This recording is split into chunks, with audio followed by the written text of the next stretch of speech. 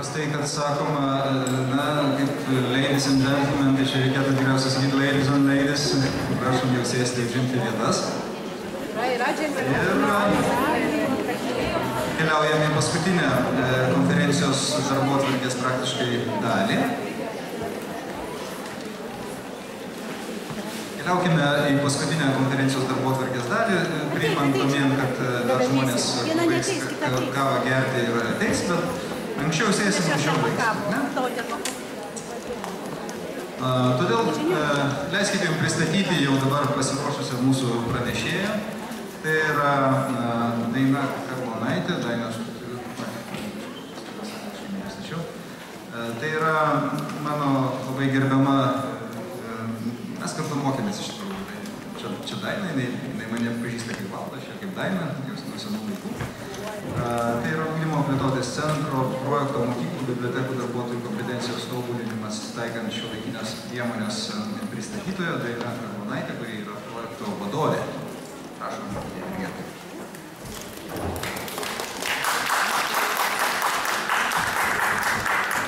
Teisingai sakoma, kad reikia atsivesti savo komandą. Čia yra mano komanda, bent jau kokie 15 žmonių. Švietimo konsultantės, ar jūs visas čia susirinkote? Atsistokite, prašau. Švietimo konsultančių. 1, 2, 3, 4, 5, 6, 7, 8, 9, 10. Bet jau virš 10 tai tikrai yra. Taip, taip, kas ta švietimo konsultantės iš veidų žinote, o pagal titulą, koks turinys jų titulo, aš truputėlį vėliau trumpai pasakysiu. Mano pagrindinis motyvas ir pagrindinė priežastis, kodėl aš neteikiau, nerengiau pateikties, yra ta, kad šito, šitame spar, sparčios informacijos laikmetyje viskas labai greitai sensta. Ir kaip mums Tatjana Žukova parodė, kad per kelias valandas informacija pasaulyje dvigubėja. Tai aš supratau, kad sąžiningą prezentaciją aš galėsiu padaryti tik tada, kai sakysiu tas mintis, kurias tą akimirką ir galvoju. Ir iš tikrųjų to nesigailiu. Nes naujaus, nes taip elgdamas aš jau galiu pasiremti naujausiais šaltiniais. Vienas šaltinis - Barbara Ford. Prisimkite atsakomybę už savo veiklą. Šiandien jinai taip pasakė. Tai mums tinka, aš tą pasižymėjau. Gedrius Vaidelis, kur yra noras, ten yra kelias. Tai mums irgi tinka, aš tą irgi pasižymėjau. Greitų pokyčių dažniausiai nebūna. Irena Krivienė. Tai irgi tinka ir mums, ir mano pranešimui, ir tai aš pasižymėjau. Stratilatovas, Eugenijus, žiūrėti vartotojo akimis. Iš tikrųjų, savo srityje, jeigu mes nežiūrime mūsų paslaugų vartotojo akimis, tai žiūrime ne visai teisingai. Vitalija Bujanauskenė, mokyklos biblioteka informacinės kultūros formuotoja. Praktiškai tai yra tas receptas, kuris, link kurio mes ir judame ir kuris labai labai užžypsita šviesa, kuri mums ir maloni, ir artima, ir, ir, ir rezonuoja su mūsų visais pajutimais. Toliau. Gabrielė Bubokaitė. O kokia ta mokyklos bibliotekininko darbo prasme, kiekvienas žino savo širdyje. Kažkodėl užsirašiau. Gal dėl to, kad aš nesu mokyklos bibliotekininkė ir nežinau, bet iš tikrųjų tas klausimas širdies ir įsiklausimas į širdį, tai irgi mūsų tema ir mūsų projekto ir kiekvieno gyvenimo tema ir kiekvieno gyvenimo projekto tema. Taip, ir, ir ten tam pačiam pranešime buvo pasakyta besišypsantis bibliotekininkas, o ne pasislėpęs ir tylus už kampo. Tai irgi mūsų dienos tema ir mano projekto tema. Štai toks trumpas įvadas. Valdai labai dažnai neskambinkit. Iliustraciją pasirinkau štai šitą piešinuką, tai yra neuronas. Kai prieš dviejus metus aš pakliuvau į šitą poziciją, ugdymo plėtotės centre atsidūriau ir direktorius Gedrius Veidelis pasiūlė ateiti dirbti šitame projekte. Tai buvo pirmojo projekto pabaiga ir antrojo etapo planavimo pradžia. Ir iš tikrųjų aš turėjau labai greitai pasakyti savo matymą, ekspromptų, jisai pasakė savo matymą, keli žmonės pasakė savo matymą ir mes supratome, kad mums visiems tinka tas supratimas ir šitas vaizdinys.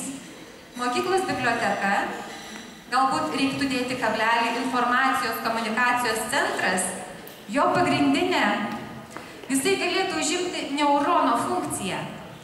Neurono informacijos pumpavimo, perdavimo, kūrimo.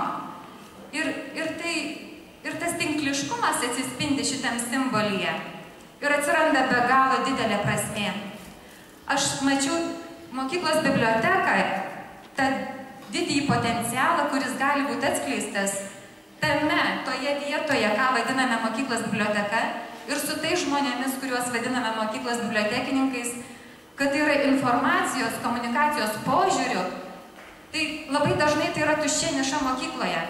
Kas organizuoja komunikavimą? Ir va tas išėjimas iš informacijos vartotojo į informacijos kurėją. Mes labai dažnai skaityti, skaityti, skaityti. Skaitome tai, ką parašė kiti. Ką parašė kiti, mes tam tikrą prasme esame skaitytojai, vartotojai. Tačiau dabar ateina laikmetis, kai iš tikrųjų vartoti neužtenka, kai esame kuriejai. Ne ir skaityti, kas kitų sukurta vartoti, bet ir kurti, praturtinti pasaulį, praturtinti visą erdvę tuo, ko joje nėra. Bet ką mes galime čia paimti ir ištransliuoti. Tai ir buvo toks, toksai pats pradinis ir aš iš tikrųjų asmeniškai nelabai nutolau nuo to matymo, kad mokyklos, tai kas šiandien yra mokyklos biblioteka, yra puikiai, puikus potencialas, puikiai bazė kurti tą informacijos apytakos, apytakos centrą. Ir iš tikrųjų, jeigu mes projekte norime tą žinę pasakyti, mes negalim pasakyti atėję į mokyklą, mes manome, kad jūs turėtumėte tuo ir tuo užsiimti. Nes teoriškai mes taip išsamprotavome ir rekomenduojame jums tai daryti. Ir supratom, kad jeigu mes norime, kad ir kiti darytų, mes tai turime daryti ne žodžiais, o veiksmais.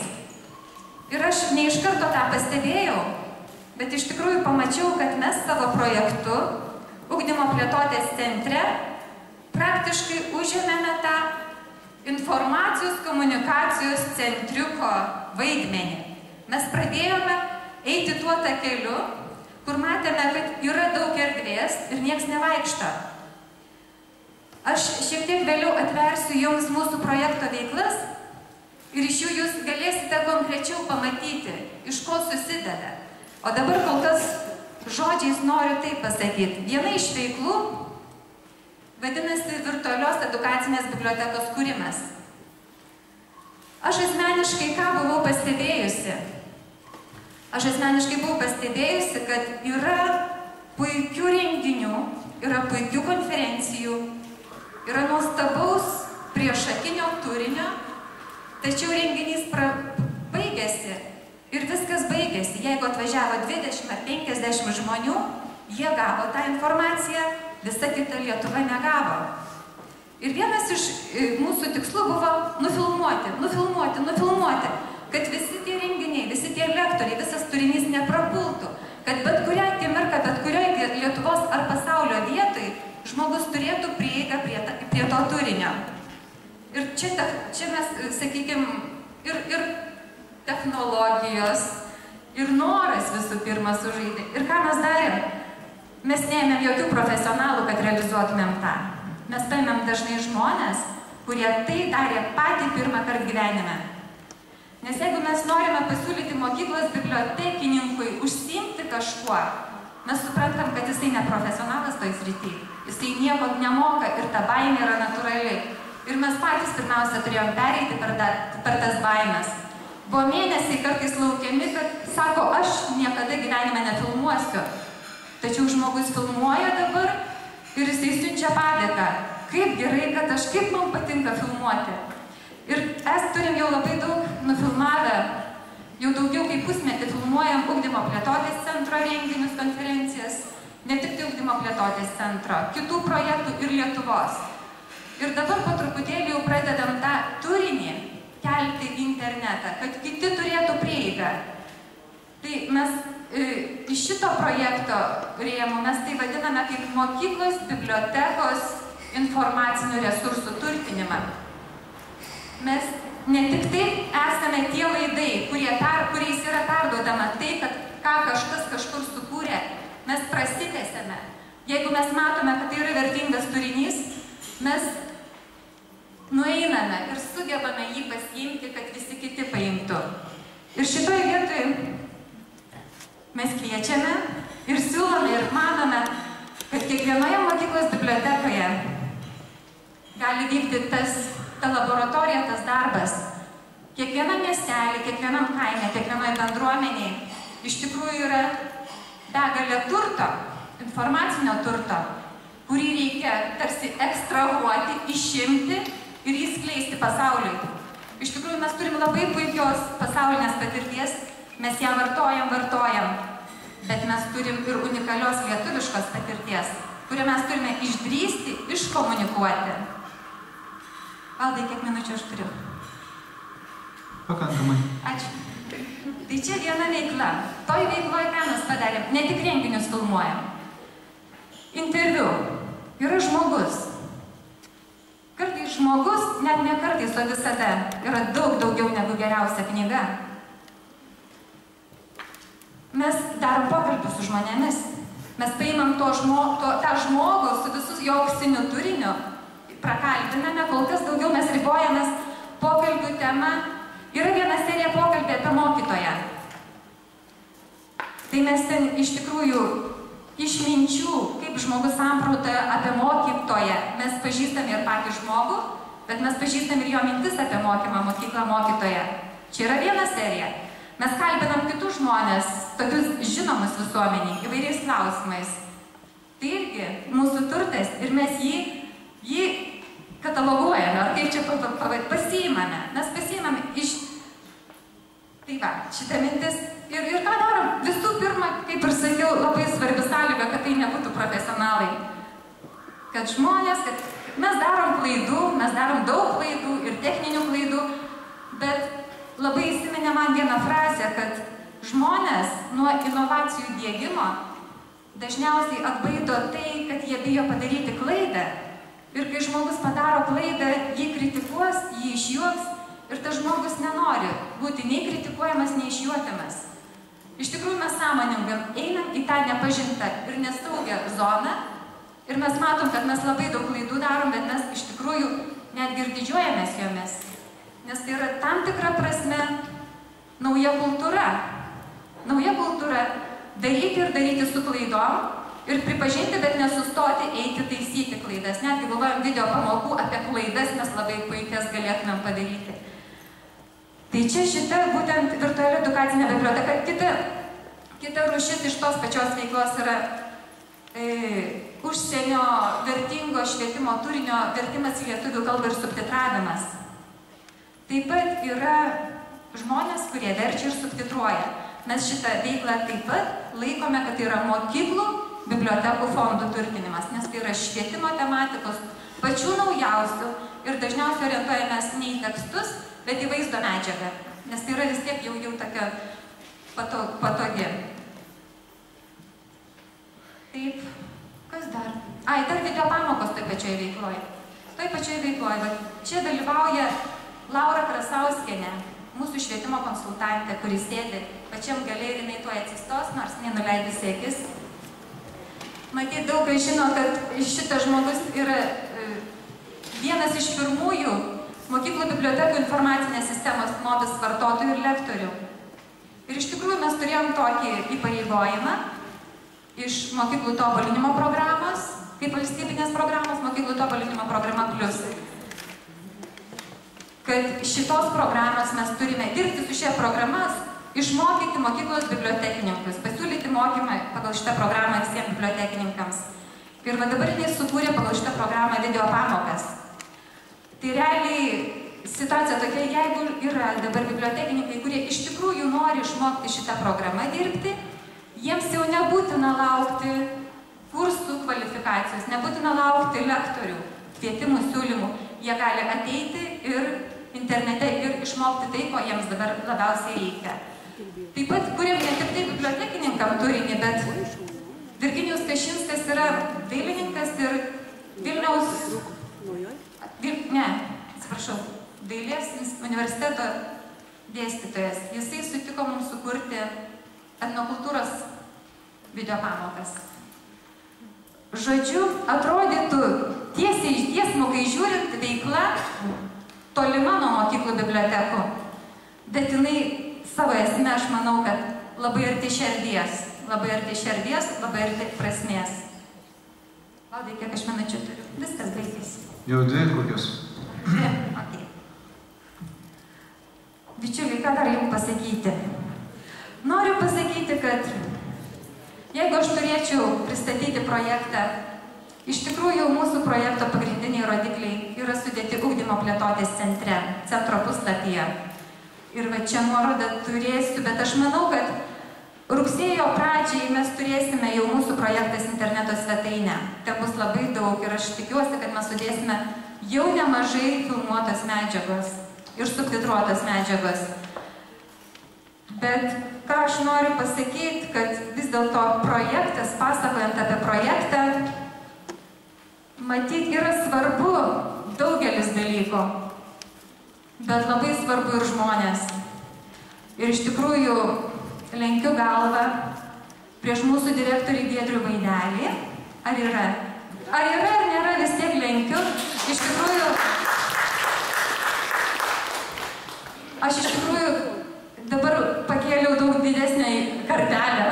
Nežinau, su kokiais vadovais aš galėčiau dirbti. Bet Giedrius Vaidelis tai buvo nu, tiek drąsos, sunku patikėti, kad gali žmogus turėti tiek drąsos. Tai yra visiškas pasitikėjimas. Ir kai tu gauni iš vadovo visišką pasitikėjimą, tu iš tikrųjų negali neprilygti tam pasitikėjimui.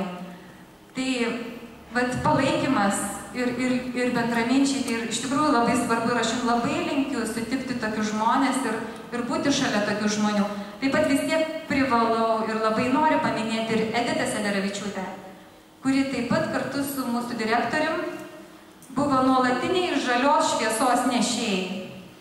Ir tas atvira, iš tikrųjų kartais daug lengviau, kai tu turi krantus, bet kai tu krantų neturi ir tau suteikiama tiek daug laisvės ir tiek daug resursų, tai yra daug, kartais daug sunkiau negu kad turėti labai aiškius rėmus.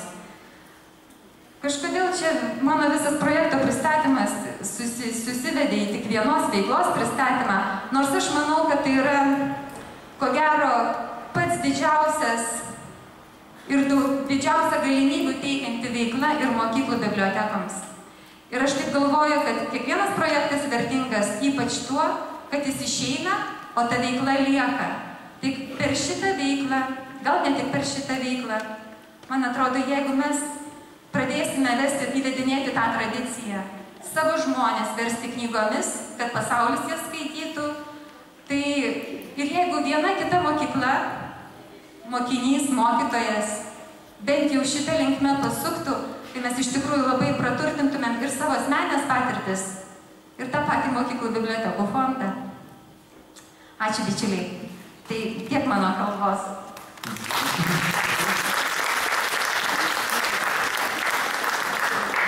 Mėlų pranešėjų daugiau skaidrių nebus? Ačiū, Naina. Ačiū už iš ties emocingą, vieną emocingiausių šios konferencijos.